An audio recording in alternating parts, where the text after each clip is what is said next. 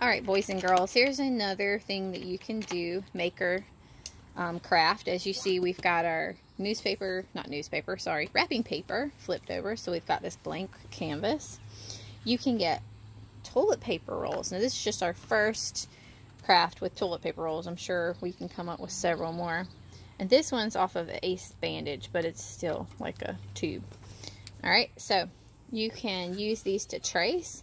Elly traced hers a few minutes ago. You can trace, use these to trace, and they can make cute little bunnies. Or you can try painting. All right, so I'm gonna show you how to do painting.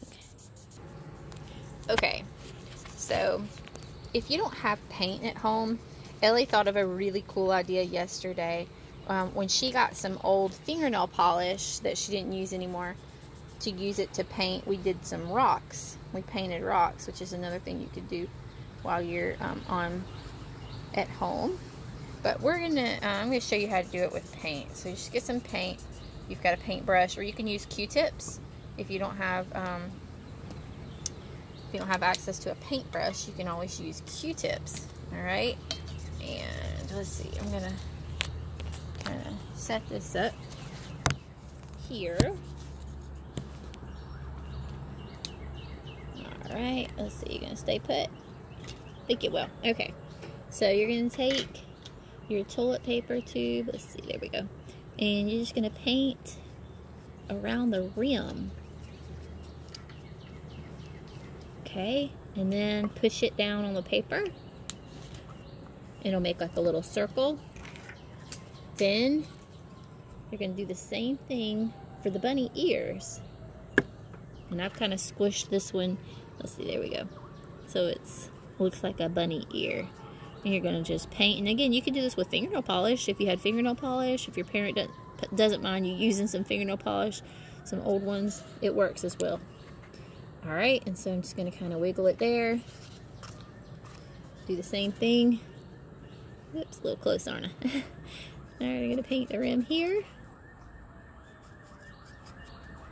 Same thing. Gonna put a generous, generous amount of paint on your ear. Oops, there goes the wind. All right. Whoa, whoa, whoa.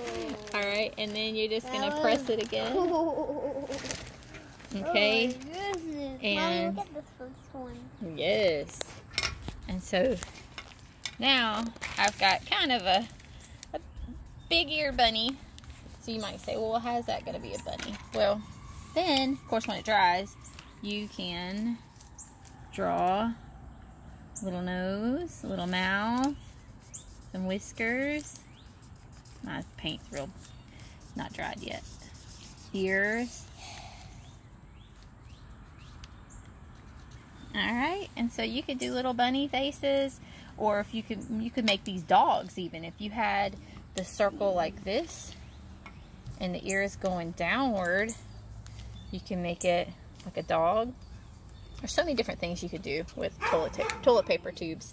So anyway, that's just our first little toilet paper uh, craft. You guys can do this on the other side of a wrapping paper, the blank side, or if you have some construction paper. This would look really cool with white paint on maybe a green paper or a pink paper.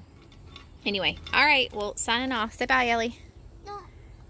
Oh, I'm sorry. Elly, go ahead. What were you going to show okay. us?